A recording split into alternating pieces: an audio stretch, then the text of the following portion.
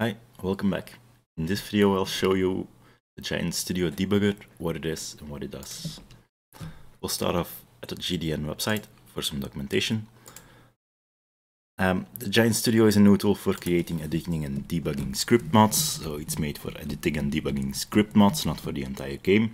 It works as an editor and a remote debugger, because we'll be able to connect to a running game instance. Um, it interacts with the game state, so we'll be able to trigger things or activate things, and provides you with information about the game state. Uh, so we'll see what's happening in the game itself. Possible use case scenarios to create or modify Lua and XML files. Um, nice, but we already have better tools to do that. Um, using breakpoints to see how scripts are executed, so we'll be able to halt the game um, and manually cycle through lines. Uh, investigate the past game state by looking through call stack or inspecting variables. So we'll be able to see what's happening in the memory of the game or um, where the game is executing uh, and seeing when and how variables change. I think I can show an example of that. And the live coding by writing script while the game is running. So we'll be able to write some custom Lua code and execute it in the game context while it's running. Okay. Um, there are a couple of configurations we're going to use. The first one, um, it's a, a new version because this is a little bit outdated. Um, we'll start off with an example mod. We have to extract them. We'll remove the zip file for now, so the game doesn't ac accidentally pick up on that one. Um, we'll need the name I already opened Giant Studio, but I'm going to make a new project. Um, doesn't matter where we save it, it has to be away from the game files.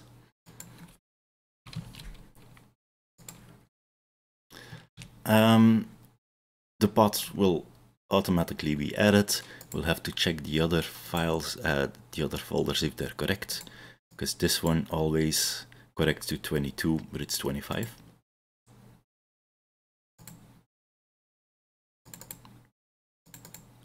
Also, the actual execution executable file is in a different folder than the root path. Um, for the game source, I think I have the included game source from the Steam version. Here, I'll add that. Um, it's not matching the version, I think I have an outdated version of something. Uh, anyway, it opened the script, so we can see what they're actually doing in the mod itself. Um, and now we should be able to connect to our game. Uh, so let's try that.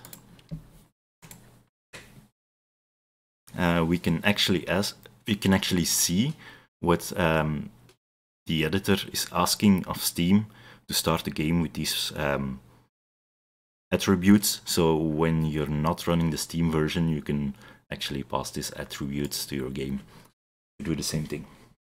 But the editor will do it for you. Okay, well that's starting. Um, let's look at what we can do. We can edit uh, Lua and XML file, so yeah, we can see them open. Um, it has syntax stuff, so it knows about some stuff. That's helpful uh, when you're discovering what's happening. See if we can disable this for now. Okay. So now our game is open. Um, when we go back to our studio, it's already connected because we started uh, the game over here. So the output we see over here should already be our game output. Um, now let's start the game and include the mod that we have open over here.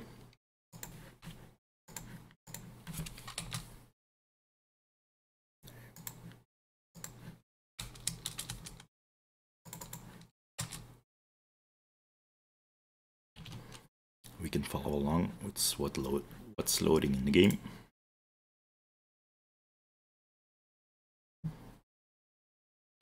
And once we're over there, we'll be able, for example, in this code, to set breakpoints. And whenever the game is going to hit these points, um, it should stop executing and wait for us to continue.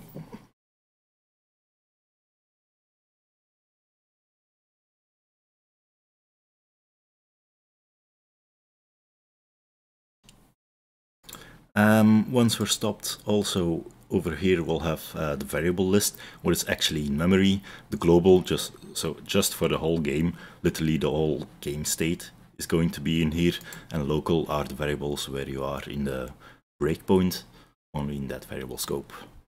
Um, we can add watches to certain variables, so if you know this variable is going to have value later on, you can already add it here and it will automatically show it once your debug point or anything in the code fills up the value.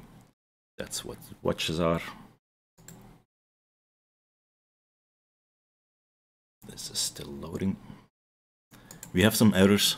Not all these things can be referenced, but the editor does know about them. I think. So I don't know why it doesn't work over here.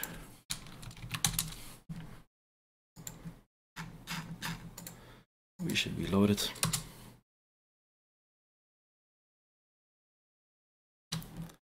And hopefully while this is running, I'm going to remove this one and replace it. I think it might make a difference. Um, but anyway, we can't get back to our game. Because over here, um, the studio is paused because we've hit this check mark. Right now the game is paused, it's waiting for this command. So uh, what we could do is use the, the tools over here. We can do a step in. And this will move into the function where we were on. And now with F10, for example, we can move to the next command because F10 over here is our step over. Step over means execute line where you're on and move to the next line. Um, the step into means move into the function that you're highlighting. So I can get at this line. When I press F11, I will move into the function that is actually happening and I can move the code around over here. Um, while this is happening, I can open the variables and I can see everything that is happening in game. Um, so if I'm looking for something like production points, I should be able to find references to what's actually in game, but I don't think I have any. And while it's paused, I can't move back to it. So I'll continue the game for now. Try that out. I have fields, I have fields.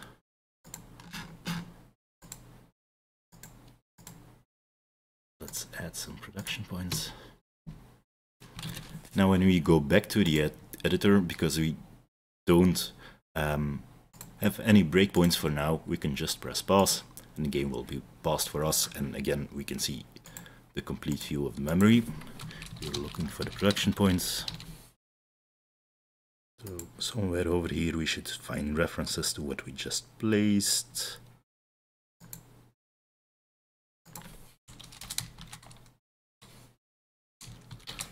Looking for any managers. Production chain manager. So, and because this is the, the in-memory of the game, I can just edit anything. And once we press play again, the new valuable value will be in memory. Um, I'm not sure where the production points are stored actually. We'll skip it for now. Um, We'll try to get back to this code. Uh, we can.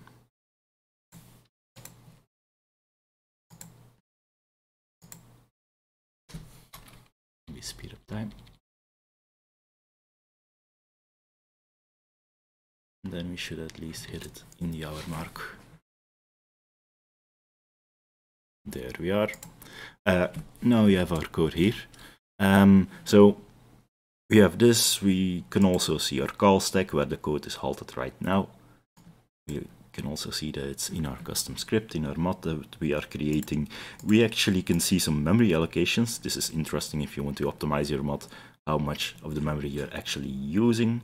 Um, same for this one. We have the breakpoints, all the red dots we have spotted where the code will automatically stop for us. Um, so now we're over here. Um, one thing I'd like to show is the script console. Uh,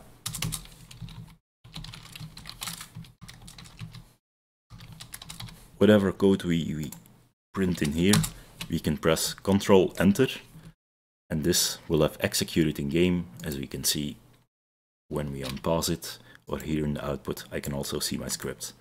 Um, so I can actually see, for example, in here, we'll try figure out what's in the item, if we can.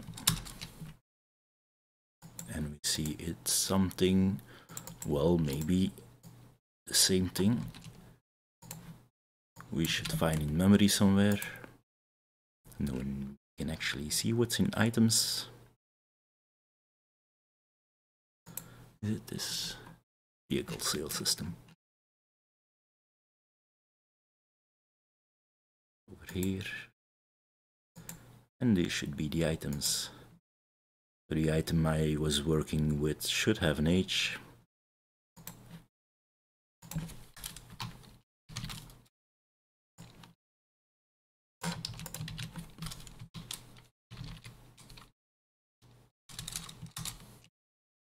and it was this value. So this script is actually running in my editor, uh, in my running game in the background. Um, that means you can maybe write a, a, loop to loop over all production points and fill every inventory until the max and just add it in when you want to try out um, what happens when the production points get filled or something. Um, so those are breakpoints. Um, I guess that's about it. We have breakpoints, we have passed the game, we saw some variables, uh, maybe some variable changes. Basically, it comes down to this. When I change this, I thought it was going to change color, but apparently it doesn't.